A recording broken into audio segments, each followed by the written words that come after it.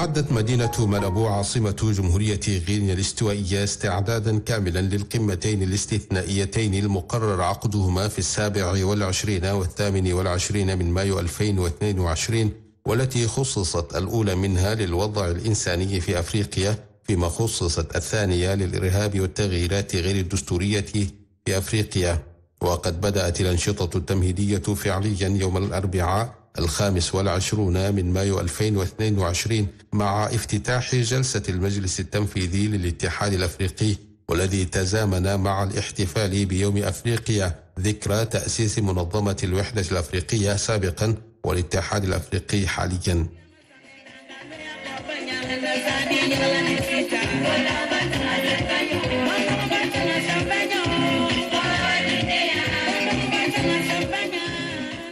وقد بدأت الوفود المشاركة في القمة على رأسها قادة بعض الدول الأفريقية في الوصول إلى مالابو عشية انعقاد القمة الاستثنائية حيث وصل رئيس المجلس العسكري الانتقالي رئيس الجمهورية رأس الدولة الفريق محمد إدريس ديبي إتنو إلى مدينة مالابو عاصمة جمهورية غينيا الاستوائية بعد ظهر الخميس السادس والعشرين من مايو 2022 وكان في استقباله لدى وصوله بمطار مالابو الدولي رئيس وزراء جمهورية غينيا الاستوائية فرانسيسكو باسكوال أوباما أسوي. كما كان في استقباله أيضا سفير تشاد في مالابو جدا موسى عثمان. وحيا رئيس الجمهورية كبار المسؤولين من جمهورية غينيا الاستوائية الذين كانوا في المطار للترحيب بفخامته كما صافح أيضا وزير الشؤون الخارجية والتكامل الأفريقي والتشاديين في الخارج السفير شريف محمد زين والسفير تشاد لدى أديس أبابا محمد علي حسن ونائبة رئيس لجنة السماك فاطمة حرم أصيل فضلا عن أعضاء البعثة الدبلوماسية التشادية في مالابو وكذا البعثة الدبلوماسية التشادية في أديس أبابا. وبعد استراحة قصيرة بصالون الشرف برفقة رئيس وزراء جمهورية غينيا الاستوائية فرانسيسكو باسكوال أوباما أسوي حيث تبادل أطراف الحديث غادر رئيس الجمهورية الفريق محمد إدريس ديبي إتنو المطار في موكب رسمي اتجه صوب مقر إقامته في قلب العاصمة مالابو. ورافق رئيس الجمهورية بعض أعضاء الحكومة ومعاوني رئيس الجمهورية في الأمانة العامة والمكتب المدني.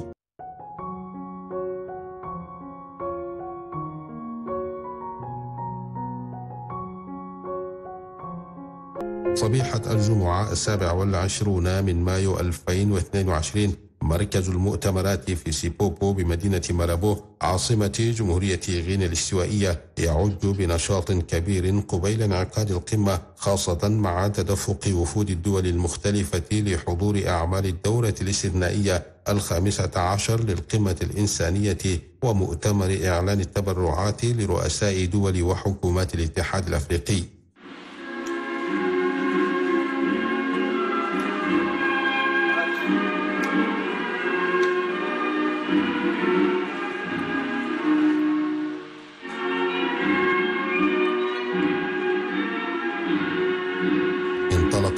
فعاليات القمة الاستثنائية للاتحاد الأفريقي حول الوضع الإنساني.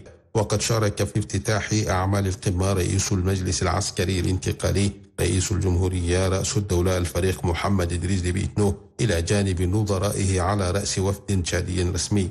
واستهلت المناسبة بكلمة رئيس جمهورية غينيا الاستوائية تيودورو أوبيانغ نغيما مباسوغو رئيس الدولة المضيفة. والذي أكد أن أفريقيا هي مهد البشرية ومصدر الثقافات وبها من المواد الخام ما يجعل من غير المنطقي أن تتخلف القارة عن مواكبة ركب التنمية. وأشار إلى ضرورة أن تتولى الدول الأفريقية زمام المسؤولية وتبادر بما لديها من إمكانيات لكي تضمن مستقبل سكانها. أعقبه في الحديث رئيس مفوضية الاتحاد الأفريقي موسى فكي محمد الذي قال إن انعقاد هذه القمة الاستثنائية الإنسانية ومؤتمر المانحين والتي طال انتظارها يعكس مساعي الاتحاد الأفريقي واهتمامه بالبحث عن حلول مستدامة للملف الإنساني في القارة. موضحا بالأرقام نسبة السكان الذين هم بحاجة إلى مساعدات عاجلة في جميع اتجاهات القارة الأربع. كما تحدث أيضا مساعد الأمين العام للأمم المتحدة المكلف بالشؤون الإنسانية مارتن جريفيث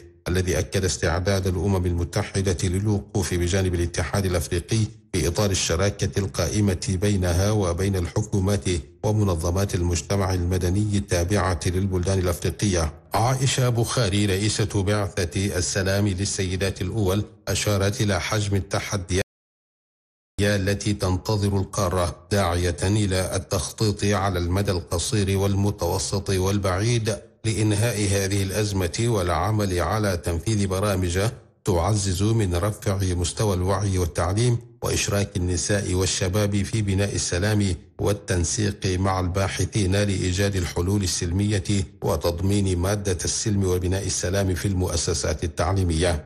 الرئيس الدوري للاتحاد الأفريقي الرئيس السنغالي مكي قال في كلمته خلال افتتاحه لأعمال القمة الاستثنائية إن الأوضاع الإنسانية والكوارث الطبيعية والنزاعات المسلحة التي تشهدها القارة لا تبعث على الارتياح. لذا فإن الوضع يستدعي التصدي للأسباب الكامنة وراء هذه المشاكل من خلال فتح فضاءات للحوار والتشاور من أجل ممارسة السلطة وتحسين حالة الهشاشة للمواطنين وتحقيق مبدأ العدالة والمساواة لإعادة الأمل للمواطنين واحترام وحماية الجميع. وبرغم ما سببته جائحة كورونا من عرقلة إلا أنه أشاد بجهود وتقدير العاملين في المجال الإنساني وطلب من الجميع الكفاح والصمود بالموارد المتاحة في القارة وبقوة وابتكارات الشباب والنساء من أجل الحرية والتضامن والعدالة حتى لا تكون القارة الأفريقية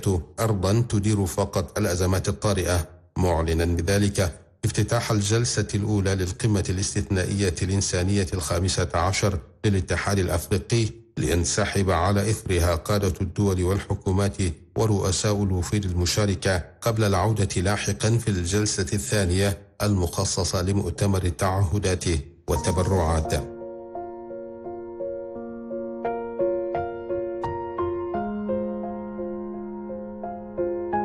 بلمحة عن الوضع الإنساني السائد في القارة الأفريقية التي قدمتها المفوضة في الشؤون الإنسانية في الاتحاد الأفريقي استهلت الجلسة الثانية للقمة الاستثنائية الإنسانية للاتحاد الأفريقي في ماربو بجمهورية غينيا الاستوائية وذلك بعد اعتماد جدول أعمال القمة. القمة والإنسانية ومؤتمر التعهدات المالية كان سانحة لرؤساء الدول والحكومات للتعبير عن تضامنهم والإعلان عن تعهداتهم لتقديم مساعدات مالية للتصدي للأزمات الإنسانية وتسريع التنمية من أجل رفاهية مشتركة وتحسين الحياة المعيشية للسكان واللاجئين والنازحين.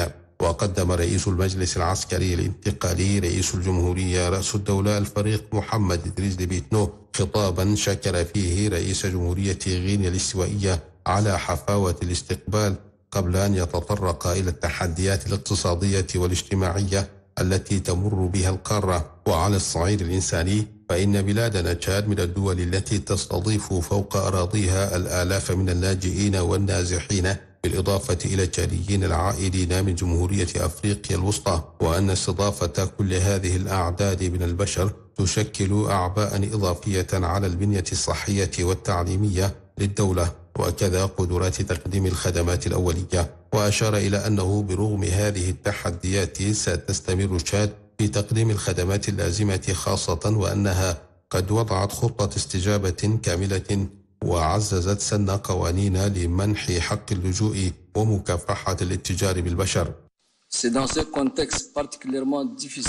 في هذا الظرف الصعب تستضيف تشاد فوق أراضيها منذ أكثر من عقدين 569592 لاجئة إلى يومنا هذا.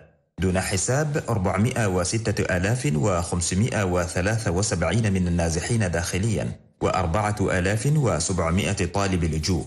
بهذا العدد الذي تستضيفه جاد فوق أراضيها يضاف إلى ذلك 108913 تشاديون عائدون من الدول الصديقة التي تمر بأزمة. إزاء هذه الأوضاع المقلقة والمتفاقمة ينبغي على هذه القمة الاستثنائية حول التحديات الإنسانية أن تسمح باتخاذ مبادرات ووضع برامج للإدارة المستدامة لهذه الأزمات عبر استراتيجيات وآليات تمويل مبتكرة وواضحة للعمل الإنساني في القارة. ويجب مضاعفة الجهود فيما يتعلق بالتفكير والحلول العاجلة على المدى القريب المتوسط والبعيد. وفي هذا الإطار تجدد تشاد تأكيد التزامها بتقديم مساهمتها المتواضعة إلى هذا الجهد الجماعي في الوقت الذي تواصل فيه أيضا استضافة تقديم الدعم الأخوي لنصف مليون شخص من الأشقاء الأفارقة اللاجئين في تشاد منذ سنوات عديدة.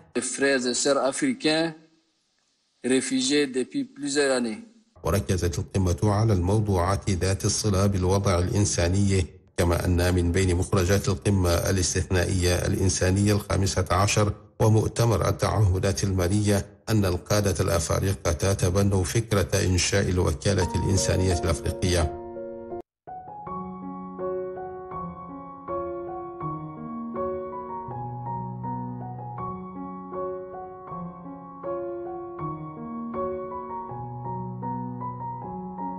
وفي يوم السبت الثامن والعشرون من مايو 2022 كان المركز الدولي للمؤتمرات في سيبوبو بملابو على موعد جديد والقمة الاستثنائية السادسة عشر للاتحاد الأفريقي والتي خصصت هذه المرة لموضوع الإرهاب والتغييرات غير الدستورية للأنظمة في أفريقيا. وعلى غرار القمة الاستثنائية الإنسانية توالت الخطابات التي بدأها رئيس جمهورية غينيا الاستوائية تيودورو أوبيانغ مباسوغو رئيس الدولة المضيفة للقمة. أعقبه رئيس مفوضية الاتحاد الأفريقي موسى فكي محمد ثم مساعد الأمين العام للأمم المتحدة المكلف بشؤون الإرهاب فلاديمير فورونكوف. وافتتح أعمال الجلسة نائب رئيس الاتحاد الأفريقي رئيس جمهورية أنغولا جواو لورينسو. خطابات ركزت جلها على التنديد بالإرهاب وجرائمه وأكد التغييرات غير الدستورية للأنظمة في القارة الأفريقية. وقدم رئيس المجلس العسكري الانتقالي رئيس الجمهورية رأس الدولة الفريق محمد إدريس ديبي إتنو قدم خطابا رحب فيه بانعقاد هذه القمة الاستثنائية المخصصة للتداول حول التهديدات الإرهابية وعواقبها على مجمل القارة الأفريقية. وقال إن الإرهاب يشكل اليوم أحد التحديات الرئيسية التي تهدد أمن الدول الأفريقية والتي تتطلب استجابة عاجلة ومنسقة على الصعيد القاري والدولي متطرقا إلى خطورة الوضع الأمني السائد في منطقة الساحل بشكل عام وأشاد على وجه التحديد. قائلا إنه ناجم عن انتشار الإرهاب والاتجار غير المشروع بالأسلحة بجميع أشكالها والذخائر والمخدرات. وإلى جانب الإعلان الذي سيتم اعتماده في هذه القمة طالب رئيس الجمهورية بتقييم موضوعي للإرهاب بجميع أبعاده بهدف تحديد نهج شامل للاستجابة الجماعية. كما تحدث رئيس الجمهورية عن الوضع الاستثنائي الذي وجدت تشاد نفسها فيه بعد الرحيل المفاجئ لرئيس الجمهورية المشير إدريس ديبي إتنو وفي مواجهة خطر الانهيار الداخلي للبلاد فإن الجيش الوطني التشادي لم يكن لديه خيار آخر سوى تحمل المسؤولية من خلال إنشاء المجلس العسكري الانتقالي باحتواء الهجوم. والحفاظ على وحدة الأراضي وضمان استمرارية الدولة مع إدراك ضرورة إجراء انتقال سياسي توافقي. متناولا الخطوات التي اتخذها المجلس العسكري الانتقالي فيما بعد من تشكيل حكومة انتقالية وتكوين المجلس الوطني الانتقالي ووضع خارطة طريق المرحلة الانتقالية والمساعي الجارية لعقد الحوار الوطني الشامل للخروج من الوضع الحالي والعودة للنظام الدستوري. وفي غضون ذلك دعا الاتحاد الأفريقي إلى الالتزام بالوقوف مع الشعب التشادي في هذه المرحلة الحاسمة من تاريخه ودعمه لقيادة المرحلة الانتقالية بنجاح. مشاركة رئيس المجلس العسكري الانتقالي رئيس الجمهورية رأس الدولة الفريق محمد إدريس ديبي إتنو في القمتين الاستثنائيتين سمحت له بإظهار موقف تشاد حيال القضايا المهمة خاصة تلك المتعلقة بموضوعات القمة. لقد أوضح رئيس الجمهورية موقف تشاد حيال مجموعة من القضايا وبالرغم من كل الصعوبات التي تواجهها بلادنا إلا أنها تعهدت بالمساهمة في تقديم الدعم المالي من أجل القضية الإنسانية التي تواجهها الدول الإفريقية. ما قدمته تشاد يعد لفتة مقدرة نظرا لما تمر به البلاد من ظروف وهي تعكس المشاركة الفعلية. إلى جانب الدول الإفريقية وتعبر عن تضامنها مع باقي الدول الإفريقية لحل الأزمة الإنسانية التي تواجهها بلداننا الإفريقية. بهذه المناسبة أشار رئيس المجلس العسكري الانتقالي رئيس الجمهورية رأس الدولة الفريق محمد إدريس ديبي تنو إلى أن الجهود التي تبذلها السلطات الانتقالية سواء داخل إطار القوة المشتركة متعددة الجنسيات التي تحارب بوكو حرام أو في إطار الساحل بشكل عام. Euh,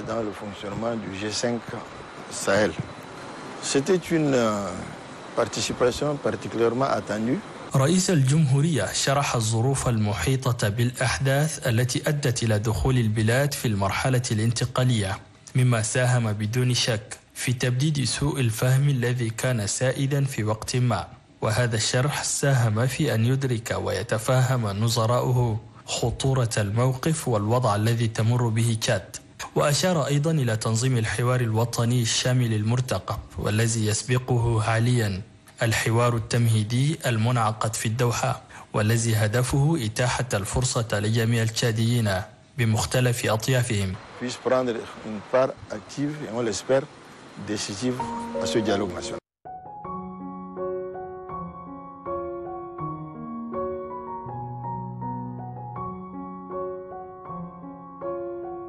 المحافل الدولية والإقليمية على غرار قمة الاتحاد الأفريقي لهي سانحة لإجراء لقاءات لبحث التعاون ومناقشة القضايا محل الاهتمام المشترك بين الدول الصديقة. ففي هذا السياق وعلى هامش القمة الاستثنائية الإنسانية الخامسة عشر للاتحاد الأفريقي في مالابو عاصمة جمهورية غينيا الاستوائية. استقبل رئيس المجلس العسكري الانتقالي رئيس الجمهورية رأس الدولة الفريق محمد إدريس ديبيتنو بمقر إقامته استقبل رئيس المجلس الرئاسي الليبي محمد يونس المنفي. لقاء يجيء بعد انعقاد القمة وسمح للرئيسين باستعراض علاقات التعاون والصداقة القائمة بين البلدين وسبل تطويرها تشاد وليبيا دولتان بينهما العديد من القواسم المشتركة فإلى جانب الحدود المشتركة والتداخل السكاني المشترك فإن تشاد وليبيا لديهما تاريخ طويل من العلاقات الودية والأخوية واليوم يمر البلدان بوضع مماثل ألا وهو الفترة الانتقالية. وانتهز رئيس المجلس الرئاسي الليبي محمد يونس المنفي السانحة وعبر عن مواساته لرئيس المجلس العسكري الانتقالي في الأحداث المؤسفة التي وقعت شمالي البلاد في منطقة كريبودي واتفق الرئيسان على ضرورة تضافر الجهود من أجل وضع حد لظاهرة انتشار السلاح في المناطق الحدودية والعمل على تأمين هذه المناطق وسكانها. وبما أن البلدين يمران بمرحلة انتقالية فإن الوضع يحتم على قيادة البلدين تنسيق الرؤى والمواقف حيال القضايا محل الاهتمام المشترك خاصة نجاح المرحلة الانتقالية.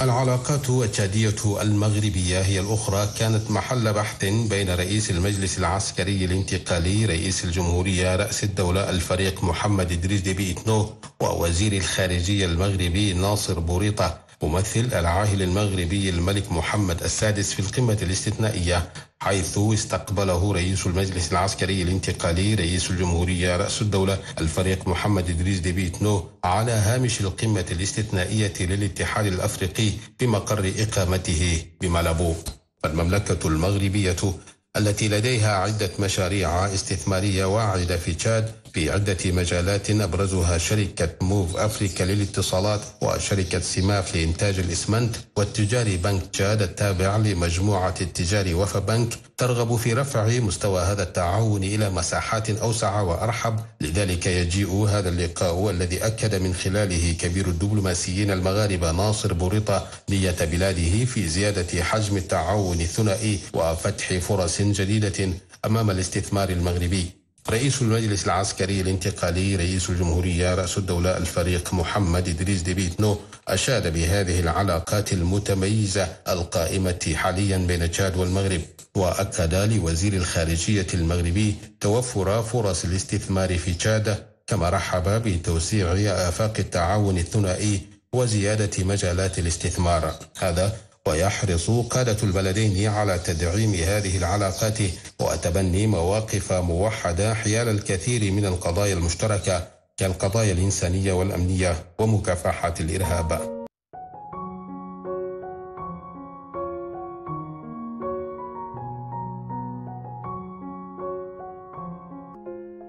جالية شادية كبيرة تقطن في مالابو عاصمة جمهورية غينيا الاستوائية وهي موزعة ما بين غالبية من التجار وطلبة وموظفين دوليين. Lorsqu'on vit à l'étranger, lorsque, euh, dès qu'on عندما نكون مغتربين خارج الوطن ونعرف أن مواطنين تشاديين قادمين إلى حيث نحن موجودين فهذا يسعدنا. وقد لاحظتم أنتم أيضا كيف أن السعادة قد غمرت الجميع لدى استقبال رئيس الجمهورية. أما بالنسبة للموضوعات المدرجة في جدول أعمال القمتين هي موضوعات تهمنا بدرجة كبيرة خاصة في ظل المشاكل الأمنية والإدارة الرشيدة. لقد أحببنا كثيرا مشاركة رئيس الجمهورية في هاتين القمتين ونأمل أن الموضوعات التي نوقشت خلال القمة ومخرجاتها تساعدنا من أجل النهوض ببلادنا. Les gens vont travailler pour que ça aide notre pays à se relancer. Ce n'est qu'une fierté pour nous les Tchadiens. إنه لمدعاة للفخر بالنسبة لنا كتشاديين أن تشارك بلادنا من بين 54 دولة إفريقية أعضاء الاتحاد الإفريقي ويشارك رئيس المجلس العسكري الانتقالي رئيس الجمهورية رأس الدولة الفريق محمد إدريس ديبي تنو إلى جانب 22 رئيس دولة. لذلك أهنئه وأشجعه على ذلك. لقد شاركت جاد بقوة في هذه الفعاليات وكان ذلك جليا من خلال الخطاب الذي ألقاه رئيس الجمهورية وبرغم البيئة المحيطة بالبلاد. فإن تشاد تستضيف فوق أراضيها الآلاف من اللاجئين. ندور عافية والسلام عشان هنا كوميرسان ونعيش في بلد تاني. شيا لنا مكان واحدين ده صعب لنا شيا. ولكن الحمد لله اليوم أول كل مارشال ما ما قصر لنا. وخلاص من كوادر حقنا وما ناسنا كله خلي يفكرنا.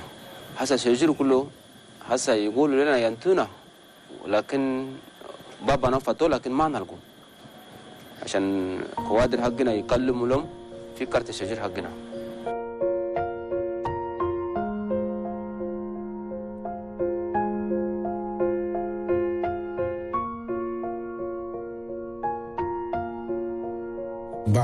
حافلة إلى مالابو عاصمة جمهورية غينيا الاستوائية حيث شارك رئيس المجلس العسكري الانتقالي رئيس الجمهورية رأس الدولة الفريق محمد إدريس ديبي إتنو في القمتين الاستثنائيتين للاتحاد الأفريقي وأجرى لقاءين على هامشهما غادر رئيس المجلس العسكري الانتقالي رئيس الجمهورية رأس الدولة الفريق محمد إدريس ديبي إتنو العاصمة الغينية مالابو وكان في وداعه بمطار مالابو الدولي رئيس وزراء غينيا الاستوائية فرانسيسكو باسكوال أوباما أسوي وكبار المسؤولين الغينيين وبعثة السفارة التالية في مالابو.